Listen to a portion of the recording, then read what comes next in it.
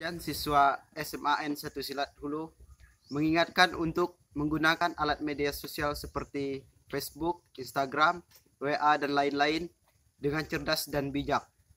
Hindari untuk mengupload berita hoax tentang apa saja yang dapat menjerumus kita pada hukum dan mari kita menggunakan media sosial untuk mencerdaskan kehidupan pribadi, bangsa dan negara. Sekian dan terima kasih.